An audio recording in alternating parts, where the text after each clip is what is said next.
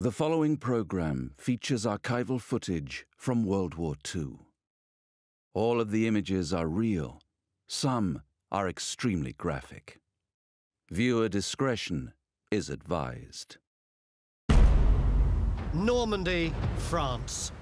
Stretching for hundreds of miles, this beautiful coastline is about to become the setting for one of history's most epic battles.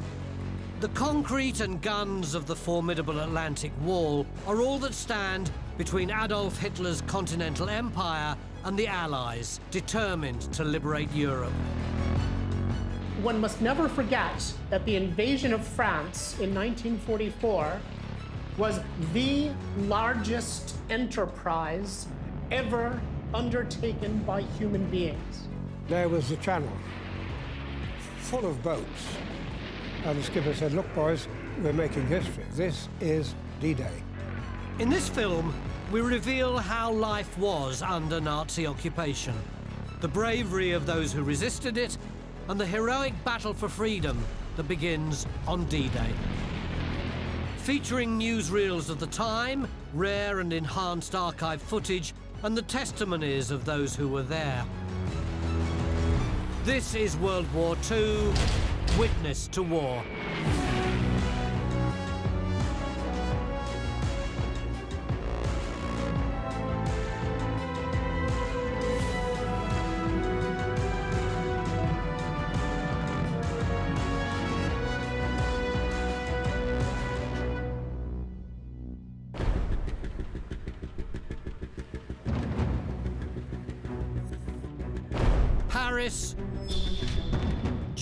1940.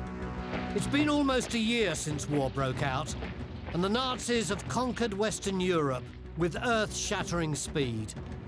Having successfully captured the French capital, Hitler poses before the Eiffel Tower, a chilling statement to the world. When the defeat of 1940 happened, I saw the Nazis arrive. That stirred in me a feeling of indignation and desire for freedom, because I didn't want to be invaded by Germans who would take our liberty. I wanted to be free. Although some are determined to fight on, newly appointed French Premier Marshal Philippe Pétain is not among them. He's resolved to make peace with Germany.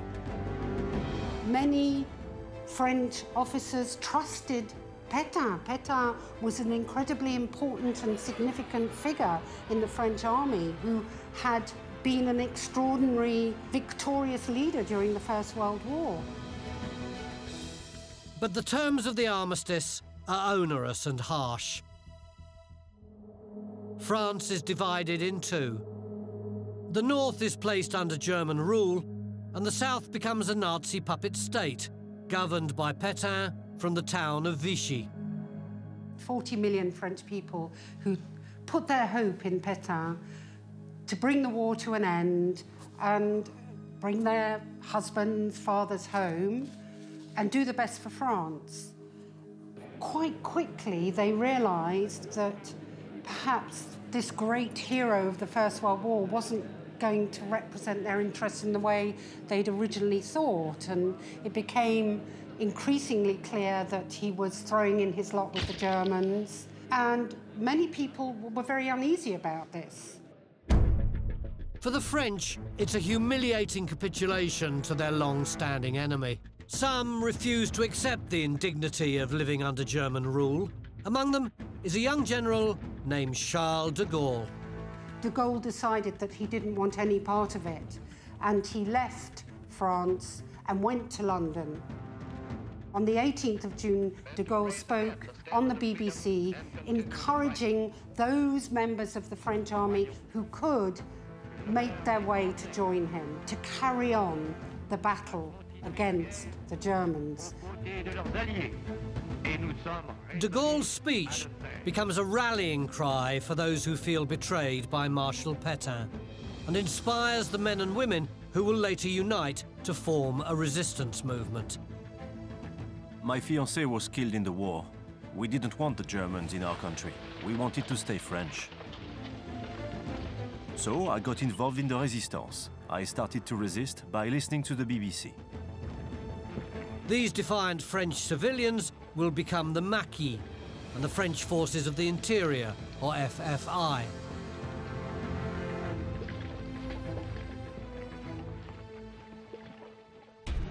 June the 28th, 1940.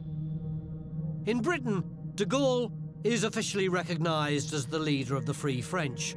He forms a new French government in exile to work closely with Prime Minister Winston Churchill. It's a vital relationship that will provide Britain and its allies with invaluable intelligence from occupied France in the years to come. Vichy France, 1942. Life is becoming unbearable for those living under Nazi repression. As anti-Jewish legislation is passed, fear and paranoia are widespread. My parents lived every day with fear in their hearts. They were afraid they would be denounced as Jews. People didn't trust one another. The regime enforces more and more brutal measures. When, in the summer of 1942, the French police began to round up the Jews, my family went into hiding. I saw the French police cars and French inspectors. They took a whole family originally from Lebanon. The mother, father, grandparents, and the children, all taken. As the cruelty of the Nazi regime increases, French resistance activities build to a new high. In response, the Milice, a Vichy paramilitary wing, is set up to hunt down resistors. Its members swear an oath to fight to the death against Jews, communists, and those loyal to Charles de Gaulle. I think that the milices, they were called, the Vichy active police, who were really fighting the resistance were extremely nasty. One didn't want to get into their hands. They all arranged tortures and that sort of thing. They were convinced fascists. The Vichy became increasingly closely associated with Nazism and the Nazi occupation. By 1943, everyone was united in recognizing that the Vichy government also had to be thrown out and that the resistance had to rid the mainland of the Nazis. But the French people living under Nazi rule aren't alone in their determination to drive the Germans out. Tehran, Iran, November 1943. Allied leaders Joseph Stalin, Franklin D. Roosevelt, and Winston Churchill meet to discuss the war effort. Stalin is desperate to open up a second front in the west to take some pressure off his Red Army in the east. Churchill and Roosevelt both agree that now's the time to plan for an invasion of France. Their target date is summer 1944. In order to prepare for the Allied invasion of Europe, it was necessary to bring British Special Forces people to operate against the Germans in rear areas in order to supplement and support the Allied invasion. Agents from the Special Operations Executive, the SOE, are sent into France to make contact with the resistance and sabotage German transport and communications. I started anyway with training people all over Normandy small groups in farms, how to make explosive plastic charges, bombs, and using pistols and using Sten guns and uh, being able to gather information. The men and women of the resistance risk their lives and those of their loved ones as they fight back against the Germans. I was a liaison agent. I was a courier. My home was a drop-off point. I recruited people. You needed all sorts of people in the resistance priests, communists.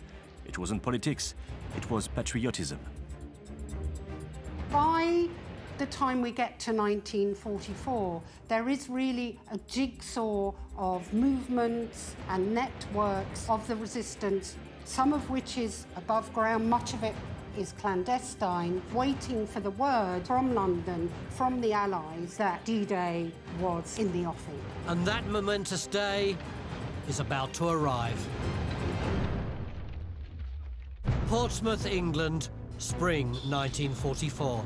A command team led by American General Dwight D. Eisenhower is planning Operation Overlord, the Allied invasion of France. An invasion force of unprecedented size is being mobilized across southern England. 1.4 million American servicemen arrive to bolster British and Canadian forces. In the run-up to the invasion of France, D-Day, England became basically an armed camp. There were millions of soldiers, millions of American soldiers, Canadian soldiers, British soldiers, many of whom had not seen action. They'd been training and training and training for years, but they'd been waiting for this moment. The Allies add enormously to their air power, an incredible 12,000 aircraft to join a great armada of ships. British factories go into overdrive, and supplies flood across the Atlantic from North America. And grizzled civilian longshoremen worked the cranes and hooks that swung the martial wealth of the free world onto the soil of Britain. Here was Montana's copper, Australia's wheat, Pennsylvania's steel, Texas cattle, the nimble fingers of the women in the aircraft factories of California, the sweat and muscle of the Canadian mines. It would have been impossible to conceal the massive preparations for the Allied invasion of Europe in 1944. It was just too big. Too many Americans, too many Canadians, too much military equipment concentrated in Great Britain. It couldn't be concealed from the Germans. So what the Allies had to do was paint a picture for the Germans. We knew and we were sure that the Allied would land somehow and somewhere. We didn't exactly know where. And Rommel himself, he visited us several times and he insisted the invasion could come to Normandy, so we had to be very careful. The Allies go to great lengths to convince the Germans that invasion will come at the narrowest part of the English Channel, known as the Pas de Calais. The embarkation points from then on around Kent were made so as to give the Germans the idea that we were going to come the shortest way to Dover. The Allies undertake a huge military build-up on the east coast of England. But this is just a ploy, and not all is what it appears to be. They could inflate them in a few minutes. Absolutely full-sized ones with guns and everything an air raid warning had come, and one young Canadian soldier lay flat by the side of one of these tanks. The whole thing collapsed on him. He gave a scream, and I never seen a man run so fast out of the field, much to our joy. The Allies created entire fake armies under command of the very flamboyant General George Patton and said that they were in East Anglia, near the Pas de Calais, far from Normandy, and that convinces the Germans when they fly over and see these uh, fake tanks and think they're real, that that's where the invasion is going to come from. The Allies reinforce this visual deception with fake signals and radio traffic, all designed to convince the Germans that Calais is the target. Berlin, Germany, 1943. Hitler knows an Allied invasion is coming, but isn't sure where. He turns to his trusted general Erwin Rommel to bolster the defences along the Atlantic Wall. The Germans uh, did fortify France, the famous Atlantic Wall, from 42 onwards. There was a, an order from Hitler saying we have to build uh, 15,000 bunkers. I mean, the big problem was you had, the Germans had, um, all in all, I think 5,000 kilometers of coastline from southern France uh, to northern Norway. And um, a big step was then that Rommel came to France in, in November 43, and he gave the whole construction program a big push. There are more Germans than ever along the coastline, where they are busy reinforcing the network of blockhouses. They have requisitioned local civilians to speed up the building process. They are having anti-tank ditches and trenches dug, and concrete slabs for cannons poured just about everywhere in the fields. They are expecting something to happen. The Atlantic Wall was particularly strong in the Pas de Calais, area, so, so from Boulogne to Dunkirk, because the Germans expected that um, the, the British and Allied attack must come there. Rommel's briefed at his headquarters in France. He's told a landing will come at Calais, but an invasion soon is extremely unlikely, not least because the weather's poor and German forecasters don't anticipate a break. So Rommel heads home to Germany to celebrate his wife's 50th birthday. It was very important to paint a picture for the Germans that was understandable, expected, plausible, and the Germans fell for it. Portsmouth, England, June the 5th, 1944. With the Germans completely hoodwinked, the Allies are ready to launch Operation Overlord. But the weather intervenes. One of the most important things was getting the weather right. You couldn't invade in stormy weather. You know, you wouldn't be able to get onto the beach. You wouldn't be able to keep supplying people with the necessary food, ammunition, petrol, and so on. Supreme Allied Commander Dwight D. Eisenhower has already delayed the invasion one day. Now he's in danger of missing the window of opportunity provided by a favourable tide. Delaying for another month would be disastrous. It means an anxious wait for the troops. I remember on the eve of D-Day uh, seeing all these tank landing craft uh, wallowing around in the sea and the soldiers were all uh, being seasick and I thought how on earth they're supposed to land on the beach and then go into action straight away, I'll never know. That was the time you got frightened. Waiting and everything else. Sitting there waiting to go in, you was nervous. Everybody was. No, no man can tell me he wasn't frightened. Eisenhower asks the forecaster, will there be a break in the weather? Can we invade tomorrow? Well, the forecaster said, well, you said, um, I will tell you, I think it'll be better. He couldn't say it was going to be good, but he thought it would be better. Eisenhower said, OK, let's go. We'll do it. I take responsibility if it all goes wrong. We were ready to go, but we was waiting for the order. Then all of a sudden, it stopped raining and it came over, go.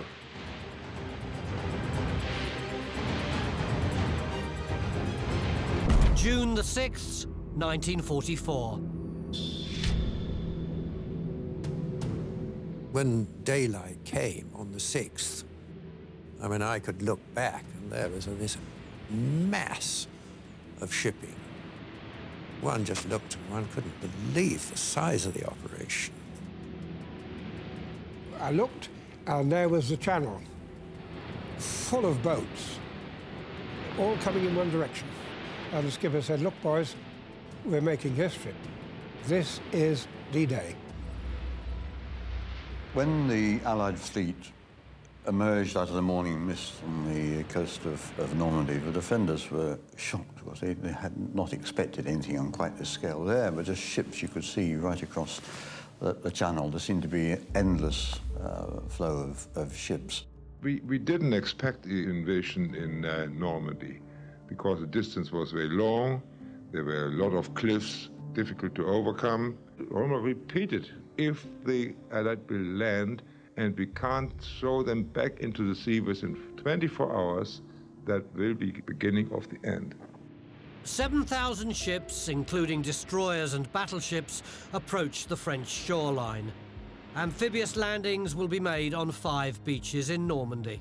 British and Canadian forces will assault three beaches, codenamed Gold, Juno and Sword. The Americans will take two beaches further west, codenamed Omaha and Utah. It was surprising, really. It was fairly quiet as where we were going, because as we got nearer, then all hell broke loose.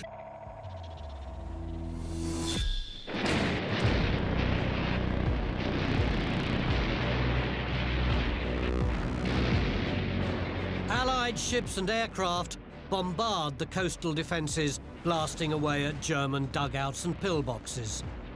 Suddenly, we see an extraordinary blaze.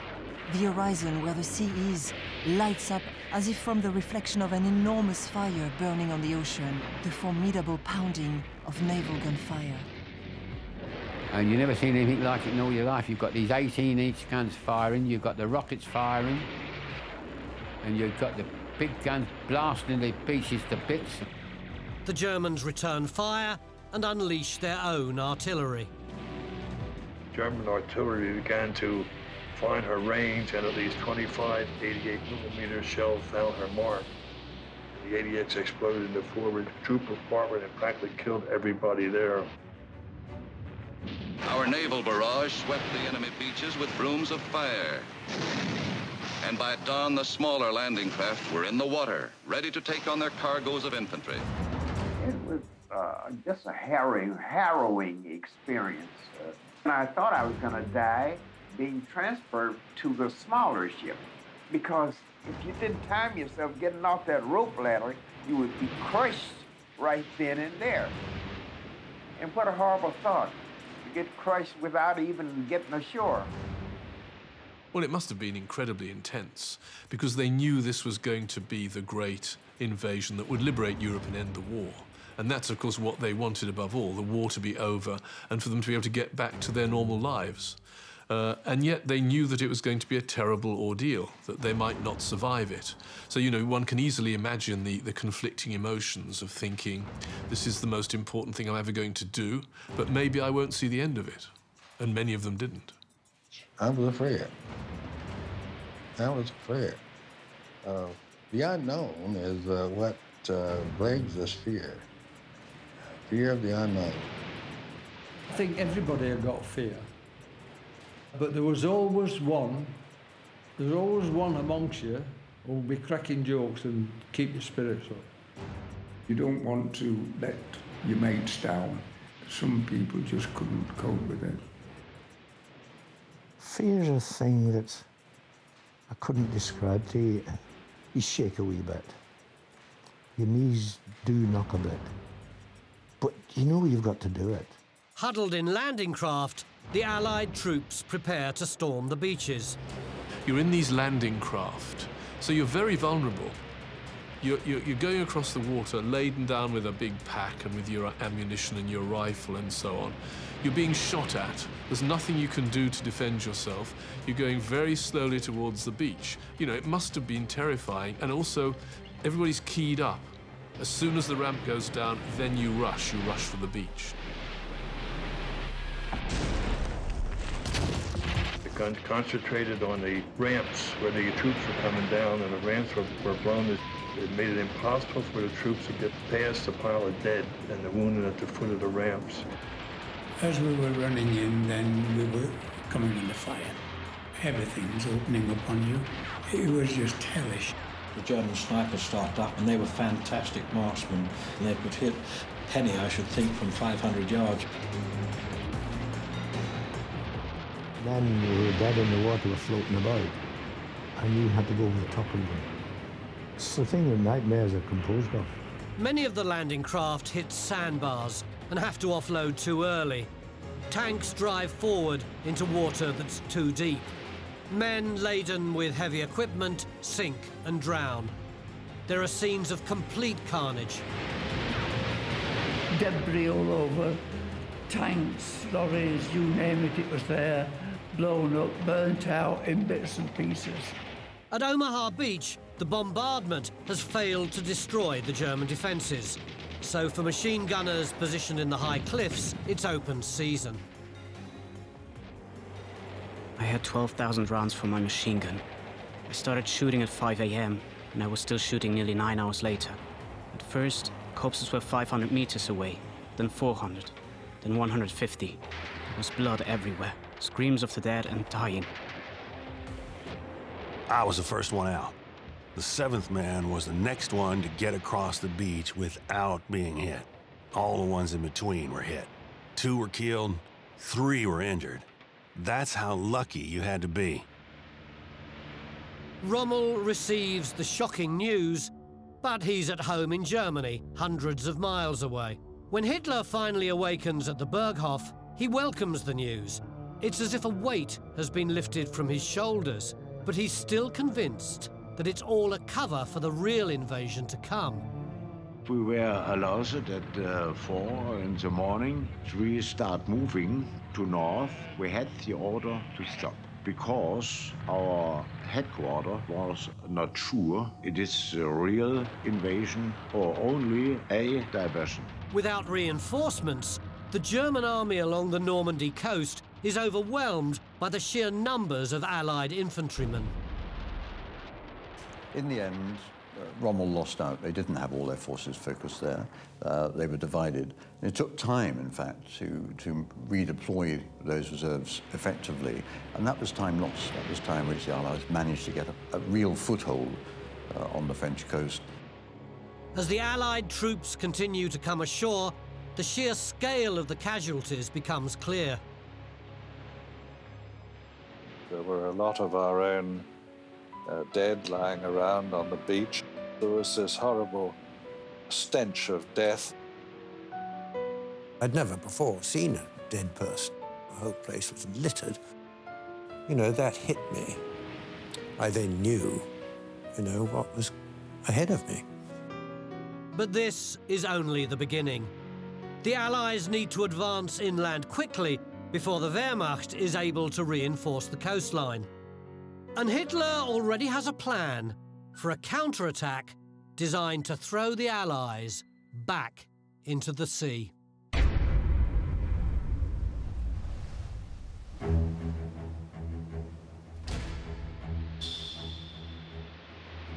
People of Western Europe. A landing was made this morning on the coast of France by troops of the Allied Expeditionary Force. This landing is part of the concerted United Nations plan for the liberation of Europe, made in conjunction with our great Russian allies. I have this message for all of you. Although the initial assault may not have been made in your own country, the hour of your liberation is approaching. All patriots, men and women, young and old, have a part to play in the achievement of final victory to members of resistance movements, whether led by nationals or by outside leaders, I say, follow the instructions you have received. Wait until I give you the signal to rise and strike the enemy. For many French people, this is the first they hear of the Allied invasion. Others, though, are already well aware. Everyone in the village has now gone out into the street to welcome the paratroopers and we are already celebrating D-Day by inviting all the Americans to stop by for a drink. People burst out laughing and cry oh and ah at the sight of new, startling things, such as one of the first jeeps, which has descended from the sky in a glider. Parachuters and gliders have been dropping behind enemy lines throughout the night. In total, 18,000 men parachute in to work with the resistance to disrupt German reinforcements. We welcome them with open arms. We already consider ourselves liberated, as if the German army had vanished overnight. It was a moment of euphoria. For millions of people across France, the news brings fresh hope and renewed fighting spirit. Once D-Day was announced, there was a call for national insurrection, for people to rise up and, and join the efforts of the resistance. News of the resistance movement in the cities occasionally arrives. But for obvious reasons, pictures are rare. Therefore, this scene is of particular interest.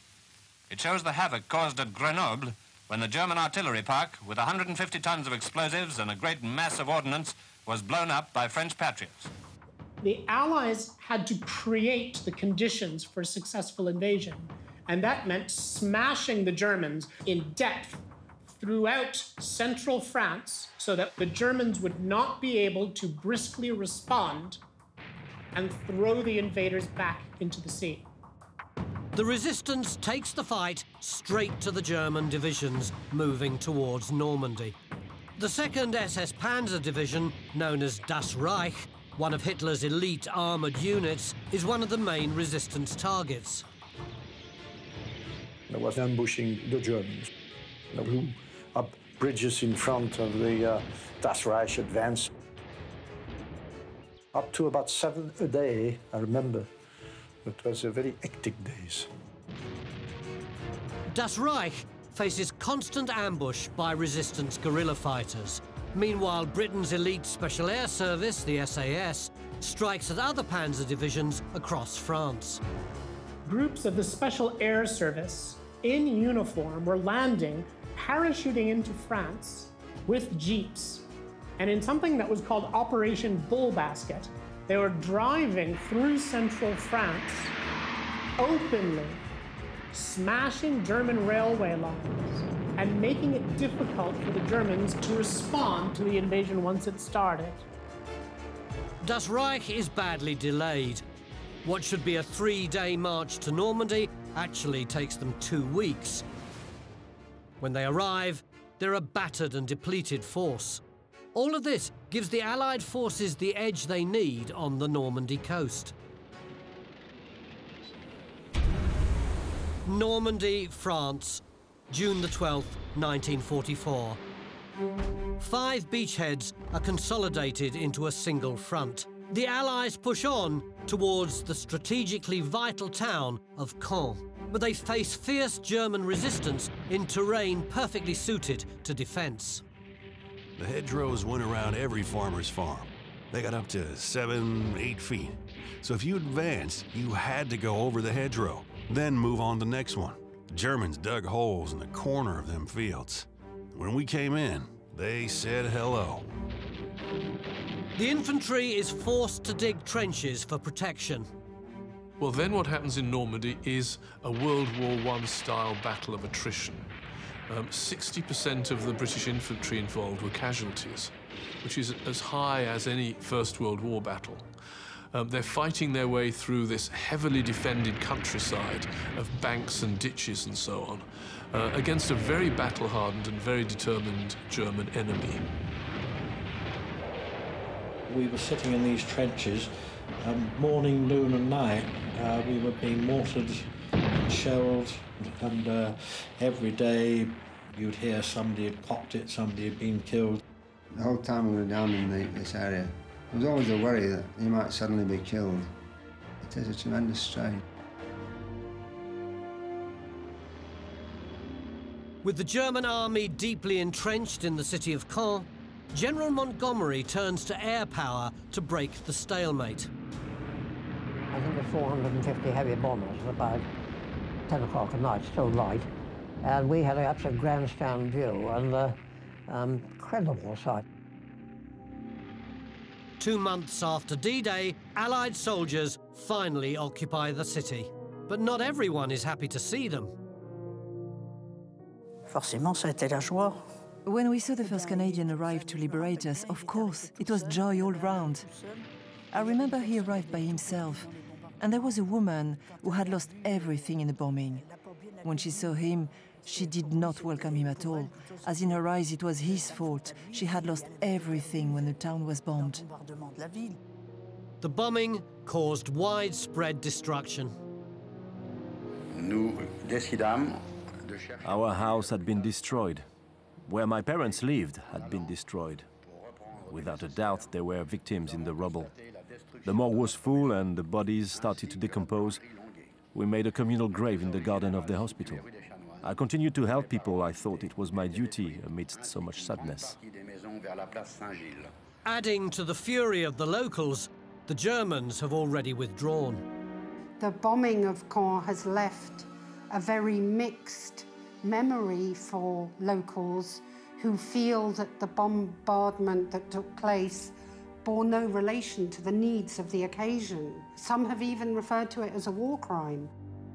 The Allies have won the Battle of Normandy, and people celebrate. But the Allied occupation is not without its problems. The arrival of the Allies in Normandy, the reality of the American forces living side by side with those French civilian populations, was not all one might expect. Initially, they were received by euphoric crowds who were thrilled uh, at their liberation. For some French people, the presence of the uh, Americans became quite oppressive. Some of the American soldiers looked to the French women for sexual adventures, some of which were consensual, many of which were less so.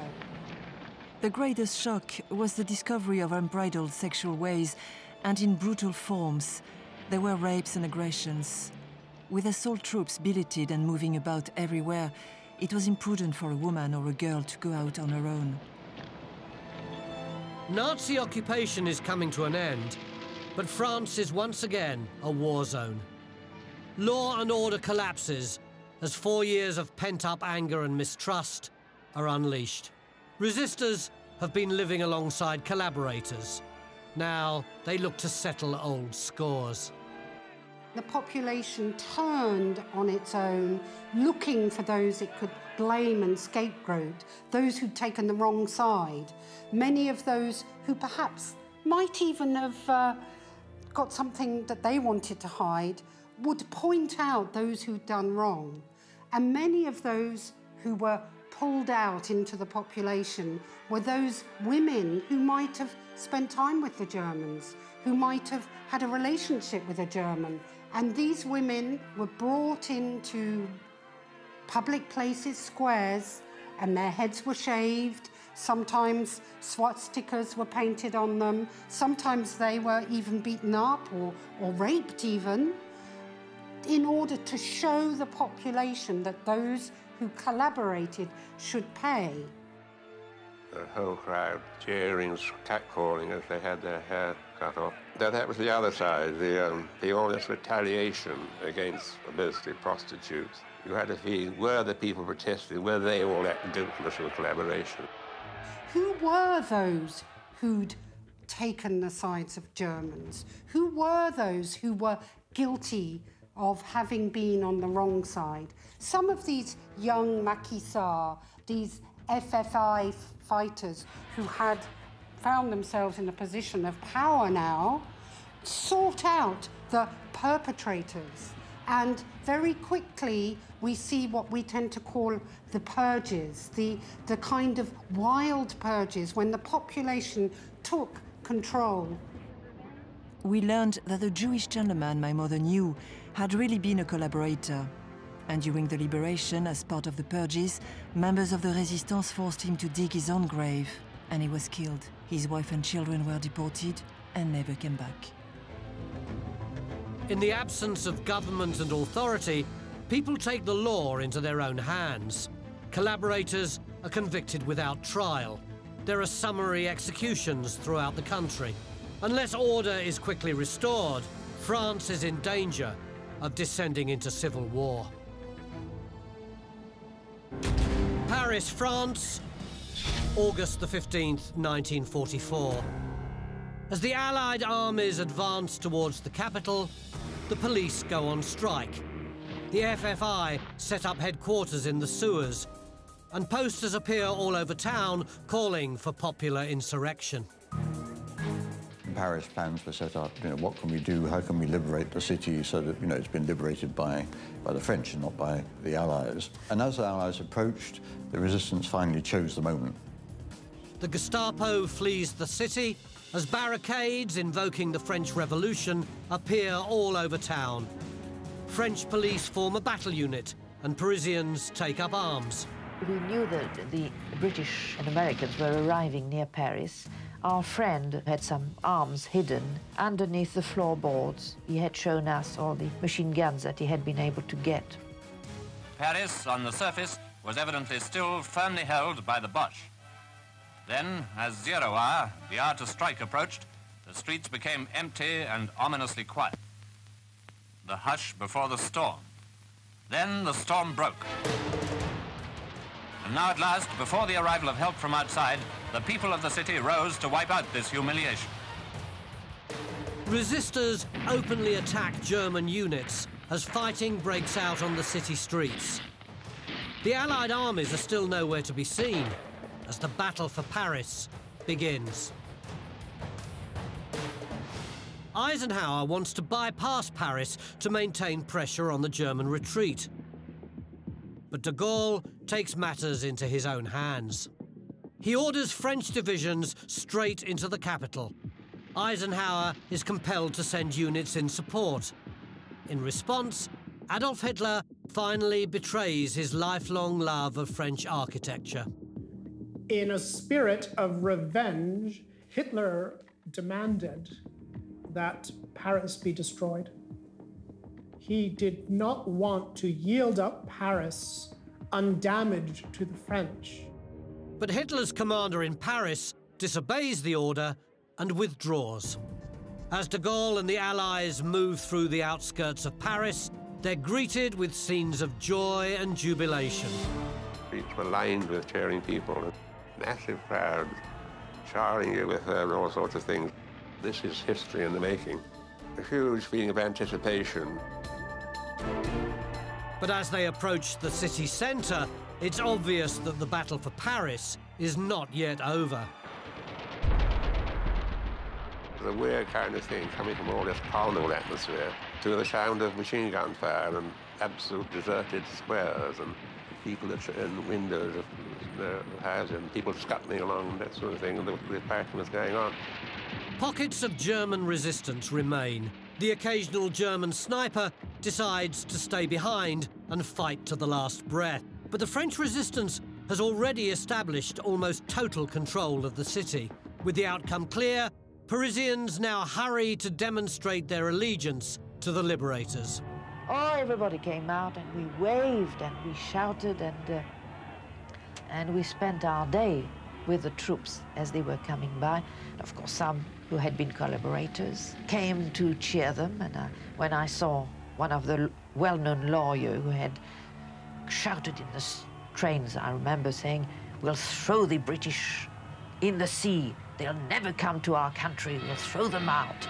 So when I saw him coming to see them, I said to the French troops, he wanted you to be chucked out in the, in the sea. He was a collaborator. But accusations come thick and fast. Some collaborators, desperate to cover their own actions, point the finger. There are wild purges throughout the city. De Gaulle, however, seizes control. He sets up provisional government and courts to bring collaborators to trial. The wild purges are replaced by legal purges. There are executions.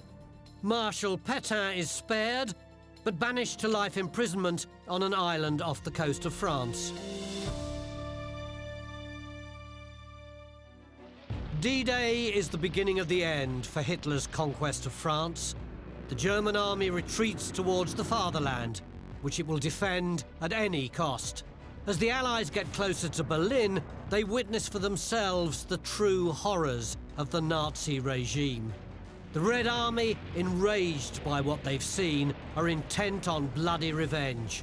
Hitler's downfall is inevitable, yet victory will not be complete until Berlin itself is reduced to ruins and soaked in blood.